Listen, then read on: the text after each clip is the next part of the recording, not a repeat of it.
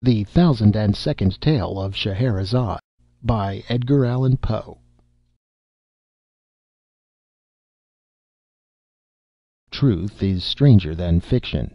Old Saying Having had occasion lately, in the course of some Oriental investigations, to consult the Tell me now is it so or not? A work which, like the Zohar of Simeon Jochaides, is scarcely known at all, even in Europe, and which has never been quoted, to my knowledge, by any American, if we except perhaps the author of the Curiosities of American Literature. Having had occasion, I say, to turn over some pages of the first mentioned very remarkable work, I was not a little astonished to discover that the literary world has hitherto been strangely in error respecting the fate of the Vizier's daughter Scheherazade, as that fate is depicted in the Arabian Nights; and that the denouement there given, if not altogether inaccurate as far as it goes, is at least to blame in not having gone very much farther. For full information on this interesting topic, I must refer the inquisitive reader to the Isitsoornot itself; but in the meantime I shall be pardoned for giving a summary of what I there discovered. It will be remembered that in the usual version of the tales a certain monarch, having good cause to be jealous of his queen, not only puts her to death, but makes a vow by his beard and the Prophet to espouse each night the most beautiful maiden in his dominions, and the next morning to deliver her up to the executioner. Having fulfilled this vow for many years to the letter, and with a religious punctuality and method that conferred great credit upon him as a man of devout feeling and excellent sense, he was interrupted one afternoon (no doubt at his prayers) by a visit from his Grand Vizier, to whose daughter, it appeared, there had occurred an idea. Her name was Scheherazade, and her idea was, that she would either redeem the land from the depopulating tax upon its beauty or perish after the approved fashion of all heroines in the attempt. Accordingly, and although we do not find it to be leap year (which makes the sacrifice more meritorious), she deputes her father, the Grand Vizier, to make an offer to the King of her hand. This hand the King eagerly accepts. He had intended to take it at all events, and had put off the matter from day to day only through fear of the Vizier. But in accepting it now, he gives all parties very distinctly to understand that, the Grand Vizier or no Grand Vizier, he has not the slightest design of giving up one iota of his vow or of his privileges. When, therefore, the fair Scheherazade insisted upon marrying the King, and did actually marry him, despite her father's excellent advice not to do any thing of the kind; when she would and did marry him, I say will I, nil I. It was with her beautiful black eyes as thoroughly open as the nature of the case would allow. It seems, however, that this politic damsel (who had been reading Machiavelli beyond doubt) had a very ingenious little plot in her mind. On the night of the wedding she contrived, upon I forget what specious pretence, to have her sister occupy a couch sufficiently near that of the royal pair to admit the easy conversation from bed to bed and a little before cock crowing she took care to awaken the good monarch, her husband, who bore her none the worse will, because he intended to wring her neck on the morrow. She managed to awaken him, I say, although on account of a capital conscience and an easy digestion he slept well, by the profound interest of a story about a rat and a black cat, I think which she was narrating. All in an undertone, of course, to her sister. When the day broke, it so happened that this history was not altogether finished, and that Scheherazade, in the nature of things, could not finish it just then, since it was high time for her to get up and be bowstrung a thing very little more pleasant than hanging, only a trifle more genteel. The King's curiosity, however, prevailing, I am sorry to say, even over his sound religious principles, induced him for this once to postpone the fulfilment of his vow until the next morning, for the purpose, and with the hope, of hearing that night how it fared in the end with the black cat—a black cat, I think it was—and the rat. The night having arrived, however, the Lady Scheherazade not only put the finishing stroke to the black cat and the rat (the rat was blue), but, before she well knew what she was about, found herself deep in the intricacies of a narration having reference, if I am not altogether mistaken, to a pink horse with green wings, that went in a violent manner by clockwork, and was wound up with an indigo key. With this history the King was even more profoundly interested than with the other; and as the day broke before its conclusion, notwithstanding all the Queen's endeavors to get through with it in time for the bowstringing. There was again no resource but to postpone that ceremony as before for twenty four hours.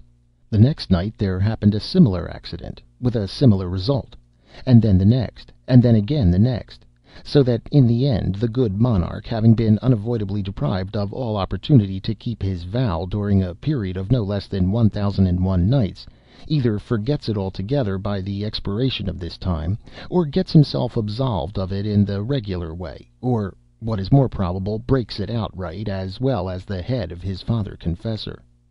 At all events, Scheherazade, who, being lineally descended from Eve, fell heir, perhaps, to the whole seven baskets of talk, which the latter lady, we all know, picked up from under the trees in the garden of Eden. Scheherazade, I say, finally triumphed, and the tariff upon beauty was repealed. Now, this conclusion, which is that of the story as we have it upon record, is, no doubt, excessively proper and pleasant; but, alas! like a great many pleasant things, is more pleasant than true; and I am indebted altogether to the Isitsoornot for the means of correcting the error. Le mieux, says a French proverb, est l'ennemi du bien; and in mentioning that Scheherazade had inherited the seven baskets of talk, I should have added that she put them out at compound interest until they amounted to seventy seven. "My dear sister," said she on the thousand and second night. I quote the language of the Isitsoornot at this point, verbatim. "My dear sister," said she, "now that all this little difficulty about the bowstring has blown over, and that this odious tax is so happily repealed, I feel that I have been guilty of great indiscretion in withholding from you and the king (who I am sorry to say snores a thing no gentleman would do) the full conclusion of Sinbad the Sailor. This person went through numerous other and more interesting adventures than those which I related. But the truth is, I felt sleepy on the particular night of their narration, and so was seduced into cutting them short a grievous piece of misconduct, for which I only trust that Allah will forgive me. But even yet it is not too late to remedy my great neglect; and as soon as I have given the king a pinch or two, in order to wake him up so far that he may stop making that horrible noise, I will forthwith entertain you, and him, if he pleases, with the sequel of this very remarkable story. Hereupon the sister of Scheherazade, as I have it from the Isitsoornot, expressed no very particular intensity of gratification; but the king, having been sufficiently pinched, at length ceased snoring, and finally said, "Eh," and then "Hu," when the queen, understanding these words (which are no doubt Arabic) to signify that he was all attention, and would do his best not to snore any more. The queen, I say, having arranged these matters to her satisfaction, re entered thus at once into the history of Sinbad the Sailor: "At length, in my old age" these are the words of Sinbad himself, as retailed by Scheherazade "at length, in my old age, and after enjoying many years of tranquillity at home, I became once more possessed of a desire of visiting foreign countries. And one day, without acquainting any of my family with my design, I packed up some bundles of such merchandise as was most precious and least bulky, and engaged a porter to carry them; went with him down to the sea shore to await the arrival of any chance vessel that might convey me out of the kingdom into some region which I had not as yet explored. Having deposited the packages upon the sands, we sat down beneath some trees, and looked out into the ocean in hope of perceiving a ship but during several hours we saw none whatever.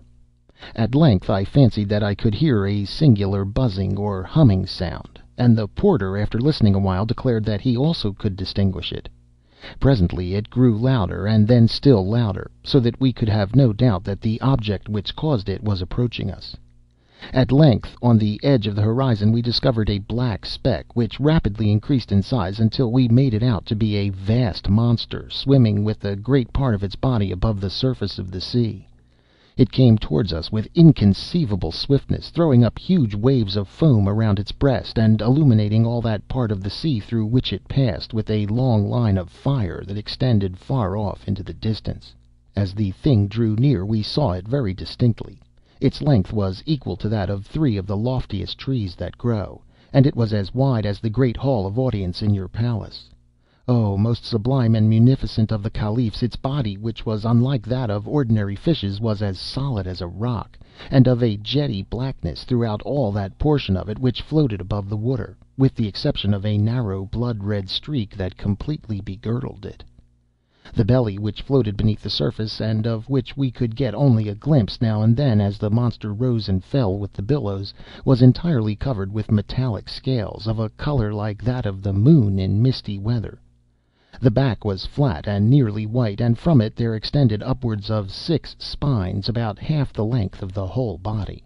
The horrible creature had no mouth that we could perceive; but, as if to make up for this deficiency, it was provided with at least fourscore of eyes, that protruded from their sockets like those of the green dragon fly, and were arranged all around the body in two rows, one above the other, and parallel to the blood red streak which seemed to answer the purpose of an eyebrow. Two or three of these dreadful eyes were much larger than the others, and had the appearance of solid gold. Although this beast approached us, as I have before said, with the greatest rapidity, it must have been moved altogether by necromancy; for it had neither fins like a fish, nor web feet like a duck, nor wings like the sea shell which is blown along in the manner of a vessel; nor yet did it writhe itself forward, as do the eels. Its head and its tail were shaped precisely alike; only, not far from the latter were two small holes that served for nostrils, and through which the monster puffed out its thick breath with prodigious violence, and with a shrieking, disagreeable noise.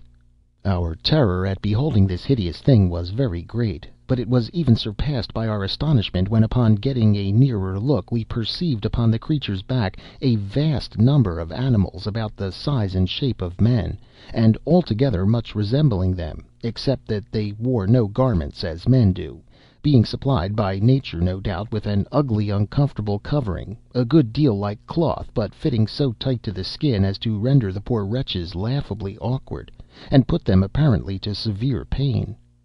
On the very tips of their heads were certain square looking boxes, which at first sight I thought might have been intended to answer as turbans; but I soon discovered that they were excessively heavy and solid, and I therefore concluded they were contrivances designed by their great weight to keep the heads of the animals steady and safe upon their shoulders. Around the necks of the creatures were fastened black collars, badges of servitude no doubt such as we keep on our dogs, only much wider and infinitely stiffer; so that it was quite impossible for these poor victims to move their heads in any direction without moving the body at the same time; and thus they were doomed to perpetual contemplation of their noses a view puggish and snubby in a wonderful, if not positively in an awful degree. When the monster had nearly reached the shore where we stood, it suddenly pushed out one of its eyes to a great extent, and emitted from it a terrible flash of fire, accompanied by a dense cloud of smoke, and a noise that I can compare to nothing but thunder. As the smoke cleared away, we saw one of the odd man animals standing near the head of the large beast, with a trumpet in his hand, through which, putting it to his mouth, he presently addressed us in loud, harsh, and disagreeable accents, that perhaps we should have mistaken for language, had they not come altogether through the nose. Being thus evidently spoken to, I was at a loss how to reply, as I could in no manner understand what was said; and in this difficulty I turned to the porter, who was near swooning through affright, and demanded of him his opinion as to what species of monster it was, what it wanted, and what kind of creatures those were that so swarmed upon its back.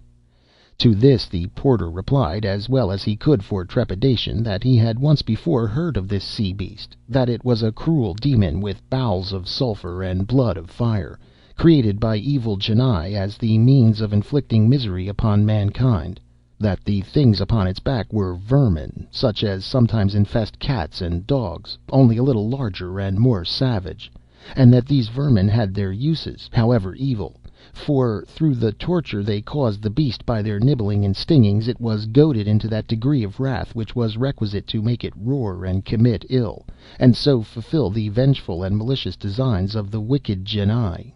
This account determined me to take to my heels, and without once even looking behind me I ran at full speed up into the hills while the porter ran equally fast, although nearly in an opposite direction; so that by these means he finally made his escape with my bundles, of which I have no doubt he took excellent care; although this is a point I cannot determine, as I do not remember that I ever beheld him again. For myself, I was so hotly pursued by a swarm of the men vermin who had come to the shore in boats, that I was very soon overtaken, bound hand and foot, and conveyed to the beast, which immediately swam out again into the middle of the sea. I now bitterly repented my folly in quitting a comfortable home to peril my life in such adventures as this. But, regret being useless, I made the best of my condition, and exerted myself to secure the good will of the man animal that owned the trumpet, and who appeared to exercise authority over his fellows. I succeeded so well in this endeavor, that in a few days the creature bestowed upon me various tokens of his favor, and in the end even went to the trouble of teaching me the rudiments of what it was vain enough to denominate its language so that at length I was enabled to converse with it readily, and came to make it comprehend the ardent desire I had of seeing the world. "Washish swashish squeak, Sinbad! Hey, diddle diddle, grunt und grumble, hiss fiss wiss!" said he to me one day after dinner. But I beg a thousand pardons. I had forgotten that your majesty is not conversant with the dialect of the Cockneys. So the man animals were called, I presume because their language formed the connecting link between that of the horse and that of the rooster. With your permission I will translate. Washish squashish, and so forth. That is to say, I am happy to find, my dear Sinbad, that you are really a very excellent fellow, and we are now about doing a thing which is called circumnavigating the globe; and since you are so desirous of seeing the world, I will strain a point, and give you a free passage upon the back of the beast. When the Lady Scheherazade had proceeded thus far, relates the Isitsoornot, the king turned over from his left side to his right, and said: "It is, in fact, very surprising, my dear queen, that you omitted hitherto these latter adventures of Sinbad. Do you know, I think them exceedingly entertaining and strange." The king having thus expressed himself, we are told, the fair Scheherazade resumed her history in the following words: Sinbad went on in this manner with his narrative to the caliph. I thanked the man animal for its kindness, and soon found myself very much at home on the beast, which swam at a prodigious rate through the ocean, although the surface of the latter is, in that part of the world, by no means flat, but round like a pomegranate; so that we went, so to say, either up hill or down hill all the time. "That, I think, was very singular," interrupted the king. "Nevertheless, it is quite true," replied Scheherazade. "I have my doubts," rejoined the king; "but pray be so good as to go on with the story." "I will," said the queen. "The beast continued, Sinbad to the caliph swam, as I have related, up hill and down hill, until at length we arrived at an island, many hundreds of miles in circumference, but which nevertheless had been built in the middle of the sea by a colony of little things, like caterpillars." "Hum!" said the king. "Leaving this island," said Sinbad for Scheherazade, it must be understood, took no notice of her husband's ill mannered ejaculation "leaving this island, we came to another where the forests were of solid stone, and so hard that they shivered to pieces the finest tempered axes with which we endeavored to cut them down." "Hum!" said the king again; but Scheherazade, paying him no attention, continued in the language of Sinbad. Passing beyond this last island, we reached a country where there was a cave that ran to the distance of thirty or forty miles within the bowels of the earth, and that contained a greater number of far more spacious and more magnificent palaces than are to be found in all Damascus and Bagdad. From the roofs of these palaces there hung myriads of gems, like diamonds, but larger than men, and in among the streets of towers and pyramids and temples there flowed immense rivers as black as ebony and swarming with fish that had no eyes. "Humph!" said the king. We then swam into a region of the sea where we found a lofty mountain, down whose sides there streamed torrents of melted metal, some of which were twelve miles wide and sixty miles long; while from an abyss on the summit issued so vast a quantity of ashes that the sun was entirely blotted out from the heavens, and it became darker than the darkest midnight so that when we were even at the distance of a hundred and fifty miles from the mountain it was impossible to see the whitest object, however close we held it to our eyes. "Hum!" said the king. After quitting this coast, the beast continued his voyage until we met with a land in which the nature of things seemed reversed; for we here saw a great lake, at the bottom of which, more than a hundred feet beneath the surface of the water, there flourished in full leaf a forest of tall and luxuriant trees. "Whew!" said the king. Some hundred miles farther on brought us to a climate where the atmosphere was so dense as to sustain iron or steel, just as our own does a feather. "Fiddle de dee!" said the king. Proceeding still in the same direction, we presently arrived at the most magnificent region in the whole world. Through it there meandered a glorious river for several thousand miles. This river was of unspeakable depth, and of a transparency richer than that of amber. It was from three to six miles in width, and its banks, which arose on either side to twelve hundred feet in perpendicular height, were crowned with ever blossoming trees and perpetual sweet scented flowers, that made the whole territory one gorgeous garden. But the name of this luxuriant land was the Kingdom of Horror, and to enter it was inevitable death. "Humph!" said the king. We left this kingdom in great haste, and after some days came to another where we were astonished to perceive myriads of monstrous animals, with horns resembling scythes upon their heads. These hideous beasts dig for themselves vast caverns in the soil, of a funnel shape, and line the sides of them with rocks, so disposed one upon the other that they fall instantly when trodden upon by other animals thus precipitating them into the monsters' dens, where their blood is immediately sucked, and their carcasses afterward hurled contemptuously out to an immense distance from the caverns of death. "Pooh!" said the king. Continuing our progress, we perceived a district with vegetables that grew not upon any soil, but in the air. There were others that sprang from the substance of other vegetables; others that derived their substance from the bodies of living animals. And then again there were others that glowed all over with intense fire; others that moved from place to place at pleasure; and what was still more wonderful, we discovered flowers that lived and breathed and moved their limbs at will, and had, moreover, the detestable passion of mankind for enslaving other creatures and confining them in horrid and solitary prisons until the fulfilment of appointed tasks. "Pshaw!" said the king.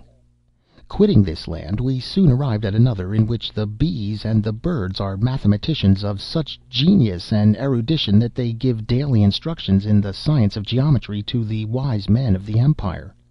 The king of the place having offered a reward for the solution of two very difficult problems, they were solved upon the spot, the one by the bees and the other by the birds, but the king keeping their solution a secret.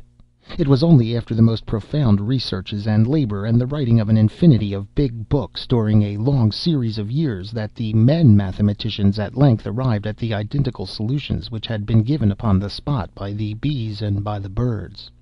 "Oh, my!" said the king. We had scarcely lost sight of this empire when we found ourselves close upon another, from whose shores there flew over our heads a flock of fowls a mile in breadth and two hundred and forty miles long so that, although they flew a mile during every minute, it required no less than four hours for the whole flock to pass over us, in which there were several millions of millions of fowl. "Oh, fie!" said the king. No sooner had we got rid of these birds, which occasioned us great annoyance, than we were terrified by the appearance of a fowl of another kind, and infinitely larger than even the rocs which I met in my former voyages for it was bigger than the biggest of the domes on your seraglio, O most munificent of Caliphs. This terrible fowl had no head that we could perceive, but was fashioned entirely of belly, which was of a prodigious fatness and roundness, of a soft looking substance, smooth, shining, and striped with various colors. In its talons the monster was bearing away to his eyrie in the heavens a house from which it had knocked off the roof and in the interior of which we distinctly saw human beings, who, beyond doubt, were in a state of frightful despair at the horrible fate which awaited them. We shouted with all our might in the hope of frightening the bird into letting go of its prey, but it merely gave a snort or puff, as if of rage, and then let fall upon our heads a heavy sack which proved to be filled with sand. "Stuff!" said the king. It was just after this adventure that we encountered a continent of immense extent and prodigious solidity, but which nevertheless was supported entirely upon the back of a sky blue cow that had no fewer than four hundred horns. "That, now, I believe," said the king, "because I have read something of the kind before in a book." We passed immediately beneath this continent, swimming in between the legs of the cow. And after some hours found ourselves in a wonderful country indeed, which I was informed by the man animal was his own native land, inhabited by things of his own species. This elevated the man animal very much in my esteem, and in fact I now began to feel ashamed of the contemptuous familiarity with which I had treated him; for I found that the man animals in general were a nation of the most powerful magicians, who live with worms in their brain, which no doubt served to stimulate them by their painful writhings and wrigglings to the most miraculous efforts of imagination. "Nonsense!" said the king. Among the magicians were domesticated several animals of very singular kinds. For example, there was a huge horse whose bones were iron and whose blood was boiling water. In place of corn he had black stones for his usual food, and yet, in spite of so hard a diet, he was so strong and swift that he would drag a load more weighty than the grandest temple in this city, at a rate surpassing that of the flight of most birds. "Twaddle!" said the king. I saw also among these people a hen without feathers, but bigger than a camel. Instead of flesh and bone she had iron and brick. Her blood, like those of the horse, to whom in fact she was nearly related, was boiling water, and like him she ate nothing but wood or black stones. This hen brought forth very frequently a hundred chickens in the day, and after birth they took up their residence for several weeks within the stomach of their mother. "Fa la!" said the king. One of this nation of mighty conjurers created a man out of brass and wood and leather, and endowed him with such ingenuity that he would have beaten at chess all the race of mankind, with the exception of the great Caliph Haroun Alraschid. Another of these magi constructed of like material a creature that put to shame even the genius of him who made it for so great were its reasoning powers that in a second it performed calculations of so vast an extent that they would have required the united labor of fifty thousand fleshy men for a year. But a still more wonderful conjurer fashioned for himself a mighty thing that was neither man nor beast, but which had brains of lead, intermixed with a black matter like pitch and fingers that it employed with such incredible speed and dexterity that it would have had no trouble in writing out twenty thousand copies of the Koran in an hour, and this with so exquisite a precision that in all the copies there should not be found one to vary from another by the breadth of the finest hair. This thing was of prodigious strength, so that it erected or overthrew the mightiest empires at a breath, but its powers were exercised equally for evil and for good. "Ridiculous!" said the king. Among this nation of necromancers there was also one who had in his veins the blood of the salamanders, for he made no scruple of sitting down to smoke his chibouque in a red hot oven until his dinner was thoroughly roasted upon its floor. Another had the faculty of converting the common metals into gold, without even looking at them during the process. Another had such a delicacy of touch that he made a wire so fine as to be invisible. Another had such quickness of perception that he counted all the separate motions of an elastic body while it was springing backward and forward at a rate of nine hundred millions of times in a second. "Absurd!" said the king. Another of these magicians, by means of fluid that nobody ever yet saw, could make the corpses of his friends brandish their arms, kick out their legs, fight, or even get up and dance at his will. Another had cultivated his voice to so great an extent that he could have made himself heard from one end of the world to the other. Another had so long an arm that he could sit down in Damascus and indite a letter at Bagdad, or indeed at any distance whatsoever. Another commanded the lightning to come down to him out of the heavens, and it came at his call, and served him for a plaything when it came. Another took two loud sounds, and out of them made a silence. Another constructed a deep darkness out of two brilliant lights. Another made ice in a red hot furnace. Another directed the sun to paint his portrait, and the sun did. Another took this luminary with the moon and the planets, and having first weighed them with scrupulous accuracy, probed into their depths, and found out the solidity of the substance of which they were made. But the whole nation is indeed of so surprising a necromantic ability that not even their infants, nor their commonest cats and dogs, have any difficulty in seeing objects that do not exist at all, or that for twenty millions of years before the birth of the nation itself had been blotted out from the face of creation. Analogous experiments in respect to sound produce analogous results. preposterous!" said the king. "The wives and daughters of these incomparably great and wise magi," continued Scheherazade, without being in any manner disturbed by these frequent and most ungentlemanly interruptions on the part of her husband, "the wives and daughters of these eminent conjurers are everything that is accomplished and refined, and would be everything that is interesting and beautiful, but for an unhappy fatality that besets them, and from which not even the miraculous powers of their husbands and fathers has hitherto been adequate to save. Some fatalities come in certain shapes, and some in others; but this of which I speak has come in the shape of a crotchet." "A what?" said the king. "A crotchet," said Scheherazade. "One of the evil genii who are perpetually upon the watch to inflict ill has put it into the heads of these accomplished ladies that the thing which we describe as personal beauty consists altogether in the protuberance of the region which lies not very far below the small of the back. Perfection of loveliness, they say, is in the direct ratio of the extent of this lump. Having been long possessed of this idea, and bolsters being cheap in that country, the days have long gone by since it was possible to distinguish a woman from a dromedary." "Stop!" said the king. "I can't stand that, and I won't. You have already given me a dreadful headache with your lies. The day, too, I perceive, is beginning to break. How long have we been married? My conscience is getting to be troublesome again. And then that dromedary touch! Do you take me for a fool? Upon the whole, you might as well get up and be throttled." These words, as I learn from the Isitsoornot, both grieved and astonished Scheherazade; but as she knew the king to be a man of scrupulous integrity, and quite unlikely to forfeit his word, she submitted to her fate with a good grace. She derived, however, great consolation, during the tightening of the bowstring from the reflection that much of the history remained still untold, and that the petulance of her brute of a husband had reaped for him a most righteous reward in depriving him of many inconceivable adventures. Footnotes to the Thousand and Second Tale of Scheherazade. "We arrived at an island, many hundreds of miles in circumference but which nevertheless had been built in the middle of the sea by a colony of little things, like caterpillars. [Footnote 1: The Coralites.] "Leaving this island, we came to another where the forests were of solid stone, and so hard that they shivered to pieces the finest tempered axes with which we endeavored to cut them down." [Footnote 2: One of the most remarkable natural curiosities in Texas is a petrified forest near the head of the Pasigno River.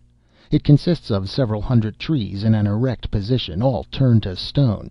Some trees now growing are partly petrified. This is a startling fact for natural philosophers, and must cause them to modify the existing theory of petrifaction. Kennedy. This account, at first discredited, has since been corroborated by the discovery of a completely petrified forest near the headwaters of the Cheyenne or Chien River, which has its source in the Black Hills of the Rocky chain.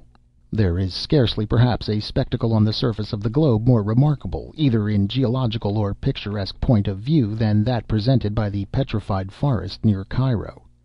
The traveller, having passed the tombs of the caliphs just beyond the gates of the city, proceeds to the southward, nearly at right angles to the road across the desert to Suez, and after having travelled some ten miles up a low, barren valley, covered with sand, gravel, and sea shells, fresh as if the tide had retired but yesterday, crosses a low range of sand hills which has for some distance run parallel to his path. The scene now presented to him is beyond conception singular and desolate. A mass of fragments of trees, all converted into stone, and when struck by his horse's hoof ringing like cast iron, is seen to extend itself for miles and miles around him, in the form of a decayed and prostrate forest. The wood is of a dark brown hue, but retains its form in perfection, the pieces being from one to fifteen feet in length, and from half a foot to three feet in thickness strewed so closely together as far as the eye can reach, that an Egyptian donkey can scarcely thread its way through amongst them, and so natural that, were it in Scotland or Ireland, it might pass without remark for some enormous drained bog, on which the exhumed trees lay rotting in the sun. The roots and rudiments of the branches are in many cases nearly perfect, and in some the worm holes eaten under the bark are readily recognizable. The most delicate of the sap vessels, and all the finer portions of the centre of the wood, are perfectly entire, and bear to be examined with the strongest magnifiers. The whole are so thoroughly silicified as to scratch glass, and are capable of receiving the highest polish. Asiatic Magazine. "Passing beyond this last island, we reached a country where there was a cave that ran to the distance of thirty or forty miles within the bowels of the earth, and that contained a greater number of far more spacious and more magnificent palaces than are to be found in all Damascus and Bagdad. From the roofs of these palaces there hung myriads of gems, like diamonds, but larger than men; and in among the streets of towers and pyramids and temples there flowed immense rivers as black as ebony, and swarming with fish that had no eyes. [Footnote 3: The Mammoth Cave of Kentucky.] "We then swam into a region of the sea where we found a lofty mountain, down whose sides there streamed torrents of melted metal some of which were twelve miles wide and sixty miles long." [Footnote 4: In Iceland, 1783.] "While from an abyss on the summit issued so vast a quantity of ashes that the sun was entirely blotted out from the heavens, and it became darker than the darkest midnight; so that when we were even at the distance of a hundred and fifty miles from the mountain it was impossible to see the whitest object, however close we held it to our eyes. [Footnote 5: During the eruption of Hecla in 1766, clouds of this kind produced such a degree of darkness, that at Glaumba, which is more than fifty leagues from the mountain, people could only find their way by groping. During the eruption of Vesuvius in 1794, at Caserta, four leagues distant, people could only walk by the light of torches. On the 1st of May, 1812, a cloud of volcanic ashes and sand, coming from a volcano in the island of St. Vincent, covered the whole of Barbados, spreading over it so intense a darkness that at mid day in the open air one could not perceive the trees or other objects near him, or even a white handkerchief placed at the distance of six inches from the eye." Murray, page 215. "After quitting this coast, the beast continued his voyage until we met with a land in which the nature of things seemed reversed; for we here saw a great lake, at the bottom of which, more than a hundred feet beneath the surface of the water, there flourished in full leaf a forest of tall and luxuriant trees." [Footnote 6: In the year 1790, in the Caracas, during an earthquake, a portion of the granite soil sank, and left a lake eight hundred yards in diameter, and from eighty to a hundred feet deep. It was a part of the forest of Aripao which sank, and the trees remained green for several months under the water." Murray, page 221. "Some hundred miles farther on brought us to a climate where the atmosphere was so dense as to sustain iron or steel, just as our own does a feather." [Footnote 7: The hardest steel ever manufactured may, under the action of a blowpipe, be reduced to an impalpable powder, which will float readily in the atmospheric air. "Proceeding still in the same direction, we presently arrived at the most magnificent region in the whole world. Through it there meandered a glorious river for several thousand miles. This river was of unspeakable depth, and of a transparency richer than that of amber. It was from three to six miles in width, and its banks, which arose on either side to twelve hundred feet in perpendicular height, were crowned with ever blossoming trees and perpetual sweet scented flowers, that made the whole territory one gorgeous garden. But the name of this luxuriant land was the Kingdom of Horror, and to enter it was inevitable death. [Footnote 8: The region of the Niger. See Simmona's Colonial Magazine.] "We left this kingdom in great haste, and after some days came to another, where we were astonished to perceive myriads of monstrous animals, with horns resembling scythes upon their heads. These hideous beasts dig for themselves vast caverns in the soil, of a funnel shape, and line the sides of them with rocks, so disposed one upon the other that they fall instantly when trodden upon by other animals thus precipitating them into the monsters' dens, where their blood is immediately sucked, and their carcasses afterward hurled contemptuously out to an immense distance from the caverns of death." [Footnote 9: The Myrmeleon lion ant. The term "monster" is equally applicable to small abnormal things and to great. while such epithets as vast are merely comparative. The cavern of the myrmeleon is vast in comparison with the hole of the common red ant. A grain of silex is also a rock. "Continuing our progress, we perceived a district with vegetables that grew not upon any soil, but in the air. Footnote ten: The Epidendron Flos Aeris, of the family of the Orchidae, grows with merely the surface of its roots attached to a tree or other object, from which it derives no nutriment, subsisting altogether upon air. "There were others that sprang from the substance of other vegetables. [Footnote 11: The parasites, such as the wonderful Rafflesia Arnoldii. "Others that derived their substance from the bodies of living animals. Schouw advocates a class of plants that grow upon living animals the Plantae Epizoa. Of this class are the Fuci and Algae. Mr. J. B. Williams, of Salem, Massachusetts, presented the National Institute with an insect from New Zealand with the following description: "The Hote. A decided caterpillar or worm is found gnawing at the root of the Rota tree, with a plant growing out of its head. This most peculiar and extraordinary insect travels up both the Rota and Farraree trees, and entering into the top, eats its way perforating the trunk of the trees until it reaches the root, and dies, or remains dormant, and the plant propagates out of its head. The body remains perfect and entire, of a harder substance than when alive. From this insect the natives make a coloring for tattooing. And then again there were others that glowed all over with intense fire. Footnote thirteen: In mines and natural caves we find a species of cryptogamous fungus that emits an intense phosphorescence. "Others that moved from place to place at pleasure." Footnote fourteen: The orchis, scabious, and vallisneria. "We discovered flowers that lived, and breathed, and moved their limbs at will, and had, moreover, the detestable passion of mankind for enslaving other creatures and confining them in horrid and solitary prisons until the fulfilment of appointed tasks." [Footnote 15: The corolla of this flower (Aristolochia clematitis), which is tubular, but terminating upwards in a ligulate limb, is inflated into a globular figure at the base. The tubular part is internally beset with stiff hairs, pointing downwards. The globular part contains the pistil, which consists merely of a germen and stigma, together with the surrounding stamens.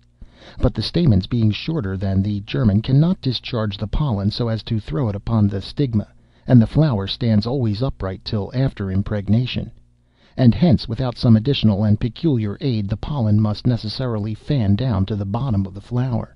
Now the aid that Nature has furnished in this case is that of the Tipula pennicornis, a small insect which, entering the tube of the corolla in quest of honey, descends to the bottom and rummages about till it becomes quite covered with pollen; but not being able to force its way out again, owing to the downward position of the hairs, which converge to a point like the wires of a mouse trap and being somewhat impatient of its confinement, it brushes backwards and forwards, trying every corner, till after repeatedly traversing the stigma, it covers it with pollen sufficient for its impregnation; in consequence of which the flower soon begins to droop and the hairs to shrink to the sides of the tube, effecting an easy passage for the escape of the insect. Rev. P. Keith, System of Physiological Botany. Quitting this land, we soon arrived at another, in which the bees and the birds are mathematicians of such genius and erudition that they give daily instructions in the science of geometry to the wise men of the empire. The king of the place having offered a reward for the solution of two very difficult problems, they were solved upon the spot, the one by the bees and the other by the birds, but the king keeping their solution a secret. It was only after the most profound researches and labor, and the writing of an infinity of big books during a long series of years, that the men mathematicians at length arrived at the identical solutions which had been given upon the spot by the bees and by the birds. Footnote sixteen: The bees, ever since bees were, have been constructing their cells with just such sides, in just such number, and at just such inclinations as it has been demonstrated, in a problem involving the profoundest mathematical principles, are the very sides, in the very number, and at the very angles, which will afford the creatures the most room that is compatible with the greatest stability of structure. During the latter part of the last century, the question arose among mathematicians, to determine the best form that can be given to the sails of a windmill, according to their varying distances from the revolving vanes and likewise from the centres of the revolution. This is an excessively complex problem, for it is, in other words, to find the best possible position at an infinity of varied distances, and at an infinity of points on the arm.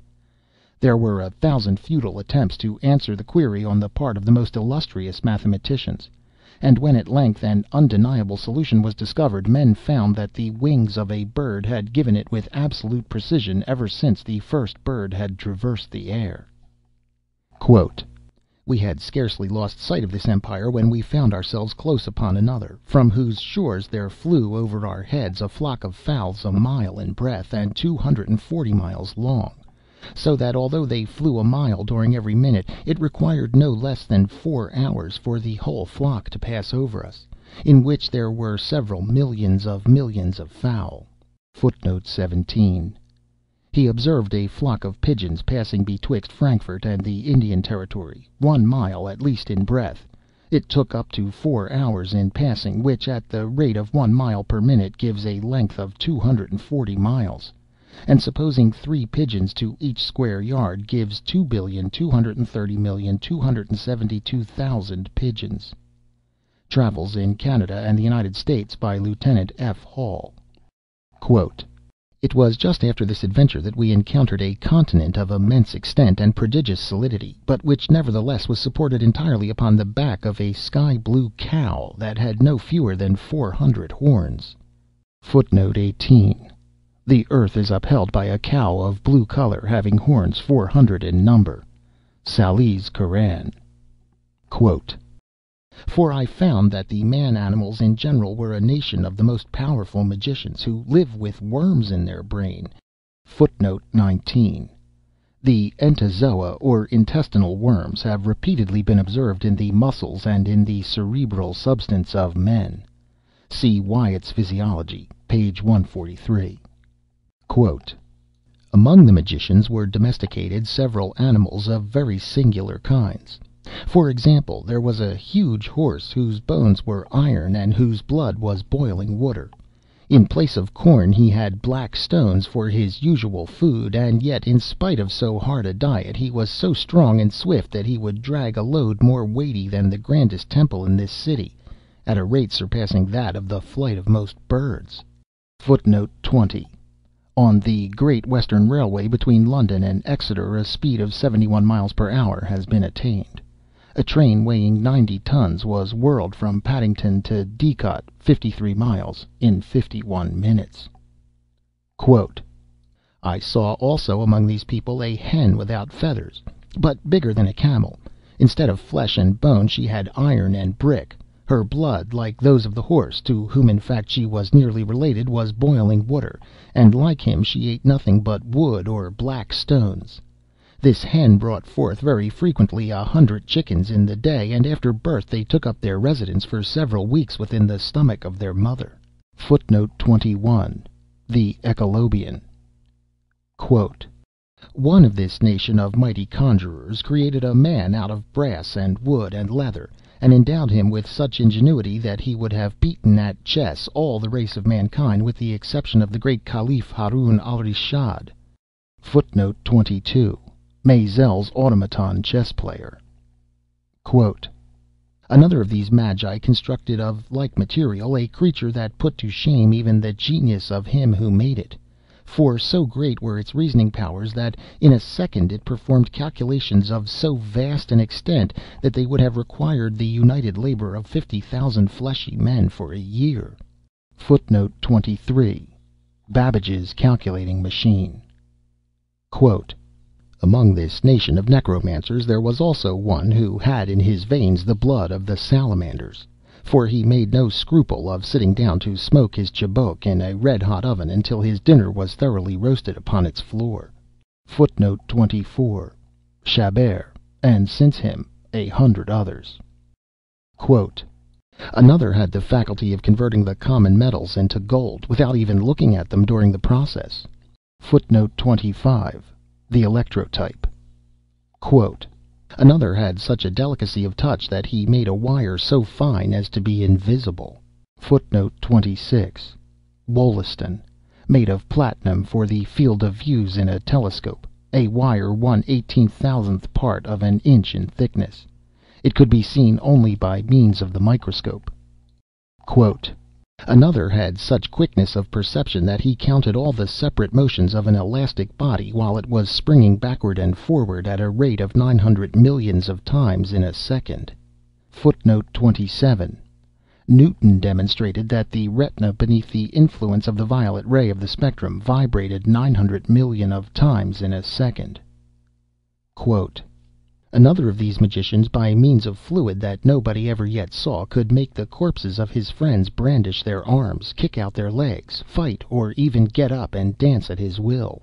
[Footnote 28: The Voltaic Pile.] "Another had cultivated his voice to so great an extent that he could have made himself heard from one end of the world to the other." [Footnote 29: The Electro Telegraph Printing Apparatus.] "Another had so long an arm that he could sit down in Damascus and indite a letter at Bagdad, or indeed at any distance whatsoever." [Footnote 30: The electro telegraph transmits intelligence instantaneously, at least at so far as regards any distance upon the earth. "Another constructed a deep darkness out of two brilliant lights." [Footnote 31: Common experiments in natural philosophy. If two red rays from two luminous points be admitted into a dark chamber so as to fall on a white surface, and differ in their length by .00000258 of an inch, their intensity is doubled. So also if the difference in length be any whole number multiple of that fraction.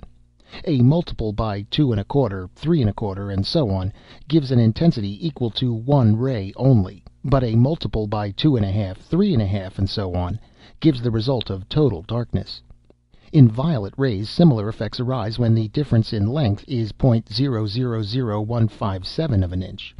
And with all other rays the results are the same, the difference varying with a uniform increase from the violet to the red. "Another made ice in a red hot furnace." [Footnote 32: Place a platina crucible over a spirit lamp, and keep it a red heat. Pour in some sulphuric acid, which, though the most volatile of bodies at a common temperature, will be found to become completely fixed in a hot crucible, and not a drop evaporates. Being surrounded by an atmosphere of its own, it does not, in fact, touch the sides. A few drops of water are now introduced, when the acid, immediately coming in contact with the heated sides of the crucible, flies off in sulphurous acid vapor and so rapid is its progress that the caloric of the water passes off with it, which falls a lump of ice to the bottom. By taking advantage of the moment before it is allowed to remelt, it may be turned out a lump of ice from a red hot vessel. "Another directed the sun to paint his portrait, and the sun did." [Footnote 33: The daguerreotype.] "But the whole nation is indeed of so surprising a necromantic ability that not even their infants, nor their commonest cats and dogs, have any difficulty in seeing objects that do not exist at all, or that for twenty millions of years before the birth of the nation itself had been blotted out from the face of creation." [Footnote 34: Although light travels 167,000 miles in a second, the distance of 61 Cygni (the only star whose distance is ascertained) is so inconceivably great that its rays would require more than ten years to reach the earth. For stars beyond this, twenty, or even a thousand years would be a moderate estimate. Thus if they had been annihilated twenty or a thousand years ago, we might still see them to day by the light which started from their surfaces twenty or a thousand years in the past time. That many which we see daily are really extinct is not impossible, not even improbable.